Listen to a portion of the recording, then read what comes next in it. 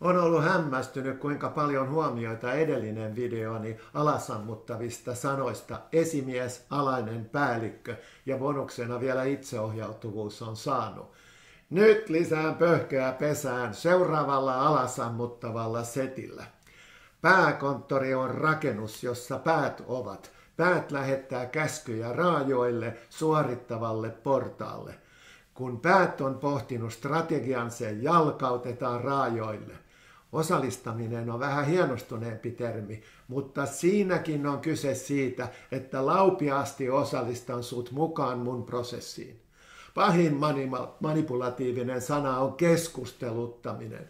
Kuulostaa ekaksi hyvältä, mutta viesti on peitellysti ylhäältä alas. Koittakaa nyt keskustella niin, että tajuatte pointin. Ei, nyt on aika muuttaa sanastoa. Näinä MeToo-aikoina ei enää ole ok käyttää manipulatiivisia sanoja. Tehdään aidosti yhdessä, kullakin on roolinsa. Silloin tulostakin syntyy aivan toisella tasolla ja sitä kaikki haluamme. Se on hauskaa.